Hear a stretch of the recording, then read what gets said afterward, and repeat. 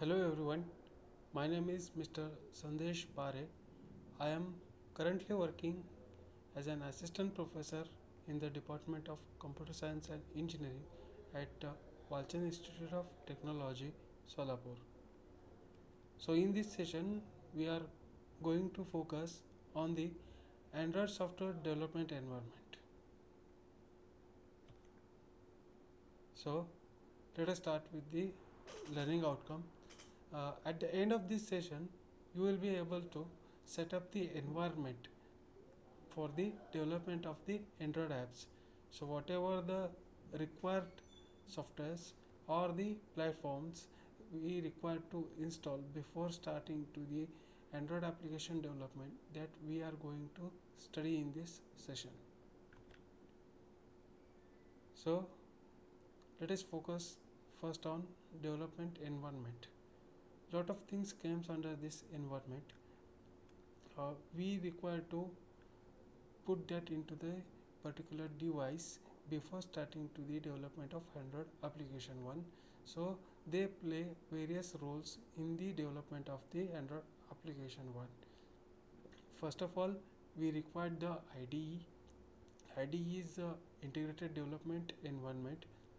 We can use Eclipse for its purpose so it pro- provides one platform where various tools made available to the developer one to build the applications of the android so the project and the tools which is provided by the IDE one okay and uh, after that uh, one ADT plugin is also required to develop the Android application. Uh, this ADT is the Android development tools.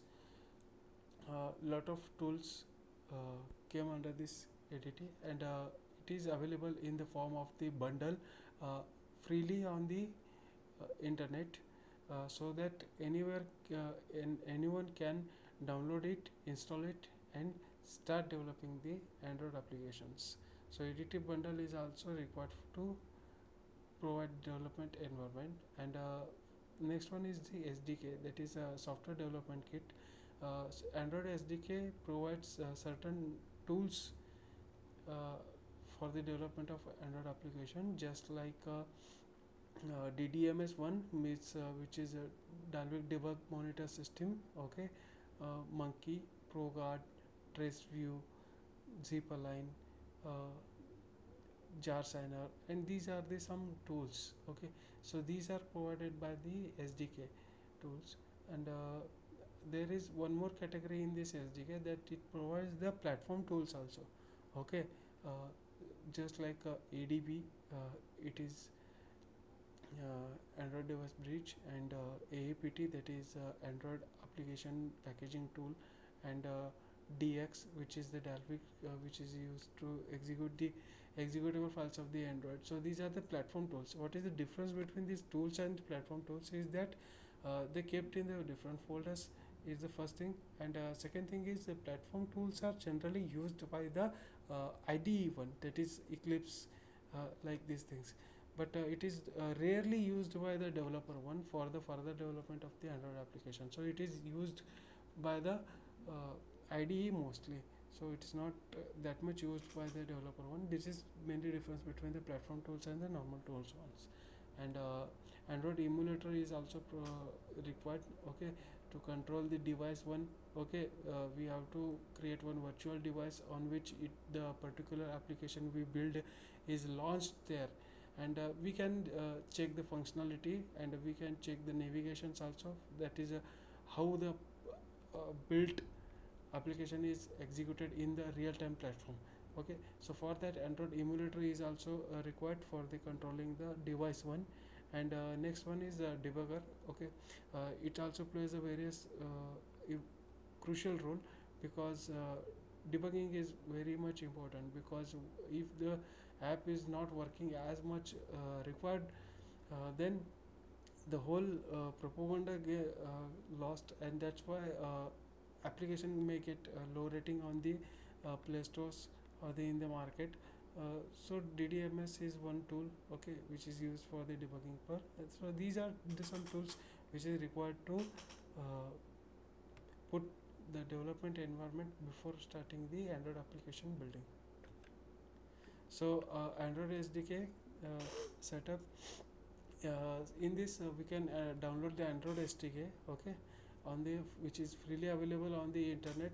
The certain link which is showed on the screen. Okay, in which it is available for the downloading one okay we just have to download it and then extract to our c4 drive and uh, the image shown there okay in this format according to our platform on the device we can uh, extract this and uh, install it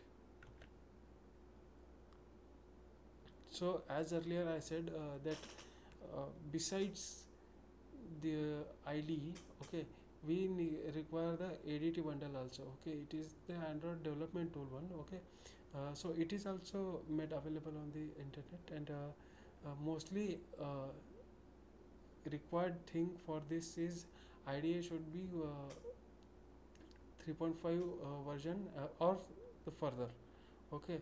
And the site on which it is available is shown on the screen also and uh, then uh, plugins is a repo- repository okay and uh, after the installation of this ADT plugins uh, the restarting of the device is uh, compulsory.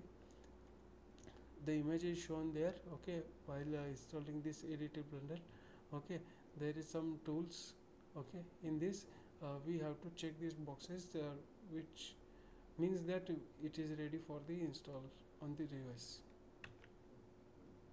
so uh, while configuring it okay it require uh, goes to goes to your IDE okay then uh, the menu which is called as the window and then go to preferences and then says you have to select the Android one and uh, there it will ask one path okay where your SDK is actually extracted uh, downloaded and extracted one okay you have to specify that path there and uh, so that it can be configured.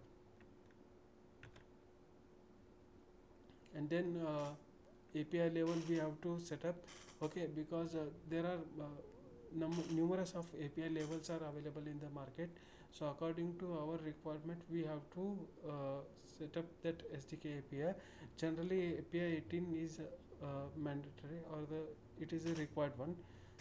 So for that there again you have to go to the window menu and there Android SDK okay and uh, using the AV- AVD manager okay where you can uh, formulate one uh, virtual device for the execution of the particular application. Means you have to launch that on the device one okay.